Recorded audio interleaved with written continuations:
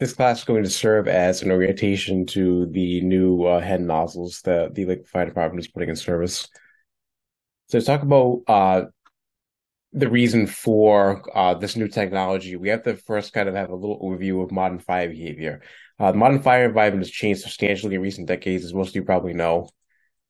When we were dealing with uh, fires in the old days, right, most of the time we were dealing with small homes and big lots now we're starting to see the, the trend shift more towards much bigger square footage homes on smaller lots. In the old days, we had closed compartmentalized house layouts were a rule. Uh, now we're starting to see much more open concept house layouts, house layouts rather. Um, in the old days, we dealt with solid lumber, wood siding, uh, paper and fiberglass insulation, generally uh, more natural materials. Uh, nowadays, we're dealing more with engineered lightweight lumber, vinyl siding, and plastic and foam insulation. So more fuel and less ability for the structure to resist uh, the uh, the insult of fire against it. Right. Uh, contents: all these generally natural materials, wood, cotton, wool. Now synthetic materials and contents, right? Plastic, foam, uh, much bigger fuel loads. They burn more readily, higher BTU generation Bottom line is modern structural fires reach flashover significantly faster than legacy fires. So firefighting, structural firefighting at least, is ultimately about combating heat, GPMs versus BTUs, right? We have to put more GPMs out than the BTUs that are being generated by the fire. The more effective our water placement is, the faster the fire goes out. Good nozzle technique is important. Our existing nozzle technology, we have our smoothbore nozzles, which are laminar flow with long reach but low coverage, right? It's a solid jet of water, has good reach, good penetrating capabilities, very predictable characteristics. We like them for structural firefighting, uh, but the coverage is minimal with these because it's a solid slug of water that just comes out straight, right? We have to play the uh, nozzle about the compartment in order to be able to coat it with, with water. Fog nozzles um, when they're used in a fog setting, have high coverage, but we have low, low reach and the water droplets are very small, right? Um, the idea behind the fog nozzle is you have those um, small droplets of water which convert to steam more readily. Works great in highly enclosed compartments, shipboard firefighting, uh, in more open compartments like we see in houses. It doesn't work very well at all. They also entrain significant amounts of air as well, which is a uh, bad thing for us. That's why when we use a fog nozzle or combination nozzle in a structure fire, we're taught to always keep it on a straight stream, right? The fluid dynamics behind these nozzles, uh, the smoothbore nozzle to the left, it, it's again cannot have a, a diverging pattern because the water basically just funnels out into that tip. Combination nozzles, uh, you can't have an optimized geometric pattern or droplet size uh, just because of the uh, the way that the uh, the baffle is shaped, right? So it's it's going to come out, but it's not necessarily you can't really modify how you know a combination nozzle really works. It, it's going to work the same regardless. The HEN blade nozzle, uh, the new nozzles that we're putting in service, is a smoothbore nozzle. So if you look at the um the tip here as it comes out, this is a smoothbore nozzle, right? It's got that that that tapered solid stream.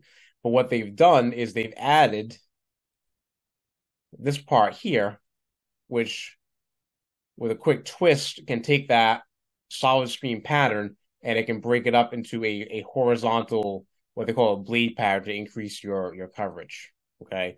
That's how the, uh, the, the HEN blade nozzle works.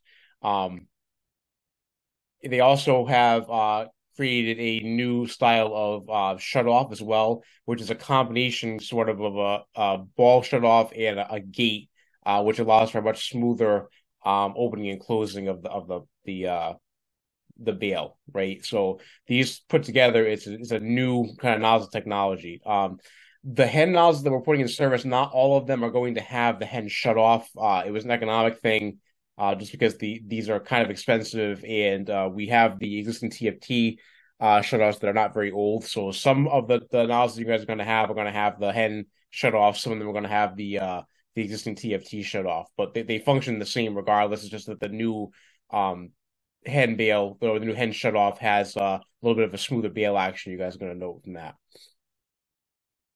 So the nozzle pattern is changed with a simple quarter turn twist. If you turn quarter turn to the right, you get a solid stream. Quarter turn to the left is a blade pattern. And you can see that being shown in the, the video here. So it's not there's no like um it's not not like a fog nozzle where you have different um degrees of of you know pattern or anything. It's basically just kind of one or the other. Either you're you're in blade or you're in you're in smoothbore, basically. Okay. Um, this video here is just going to show uh, a little demonstration of the uh, nozzles in a training setting.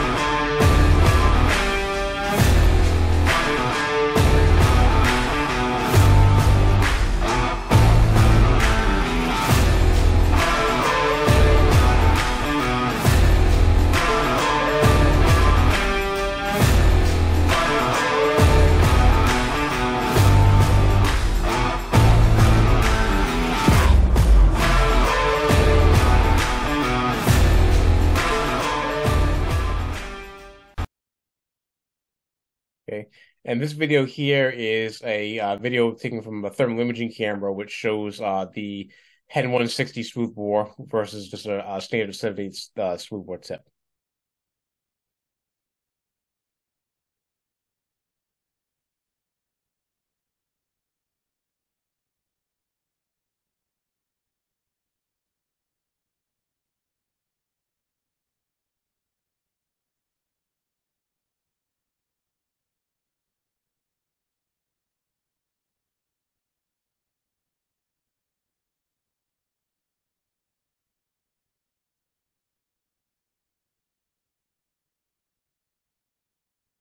So you can see there that the uh, HEN uh, blade pattern was able to achieve suppression um, faster and with uh, lower um, water usage than the uh, the solid tip uh, seven eighths.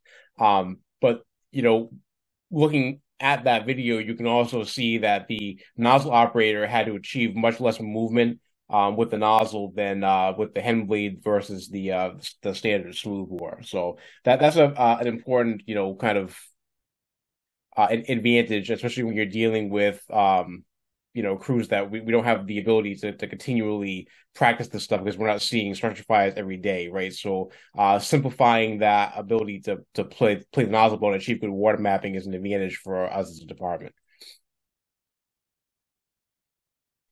These uh, side by sides just kind of shows you the uh, water distribution from the ceiling with your uh, standard solid stream uh, versus the uh, the the uh, blade pattern. So you can kind of see the uh, the increase in coverage that you get in the compartment with the uh, the blade pattern versus the smooth bore.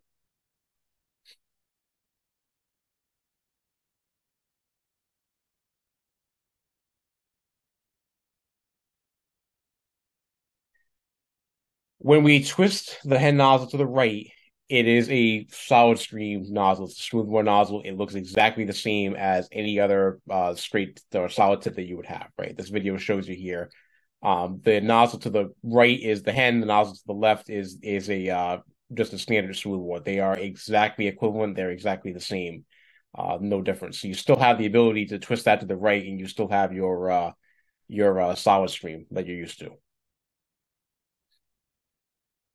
So applications. The blade pattern gives the advantage of increased water coverage in a compartment without the massive air entrainment of a fog screen. The air movement with the blade pattern is approximately equivalent to playing a straight stream in an O pattern. So if you take that combination nozzle, you put into a straight stream, and you you uh, put it into an O pattern like we've always been taught, um, that's going to entrain about the same amount of air as the, the blade pattern. But the advantage of the blade pattern is that you get that more efficient water placement and you don't have to do as much physical movement as the nozzle operator because you're increasing the horizontal reach of that that stream. So you don't have to play it around as, as much. You, may have to do some up and down motion maybe maybe a little bit side to side but you don't have to do these big sweeping o patterns like like we've always been taught uh, to do. It's it's a, a much uh, simpler operation for the nozzle operator to be able to to cover that whole room so what effect does that have on the fire, right? The most efficient application of water, um, we have to con- contact four different areas as quickly as possible. We have to contact the fuel surfaces, the stuff that's actually burning. We have to contact the unaffected fuel to keep it from burning. We we have to contact the hot smoke because remember, smoke is is fuel, right? So we have to cool down that hot gas layer to prevent that from igniting on us. And then we also have to contact the hot surfaces inside the room as well because we want to get the walls uh, and ceiling wet as well, right? Because that's going to um, prevent uh, radiant heat um, distribution inside that compartment, right? Um, the advantage with the blade pattern is that it allows that wide coverage to contact as much of that compartment as possible. Um, but because it's still a, a, solid stream, it's not a, a broken up into into small droplets. We still maintain our forward velocity, uh, which maximizes the range of penetration when compared to a, a fog nozzle. So, just a quick um, orientation to the nozzle itself.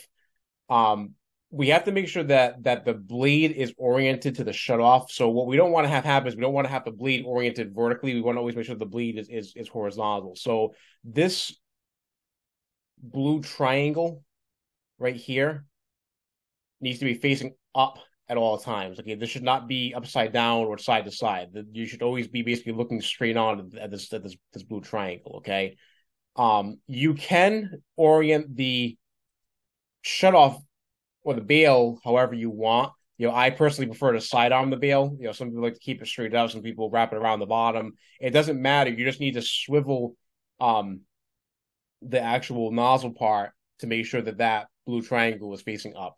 Okay.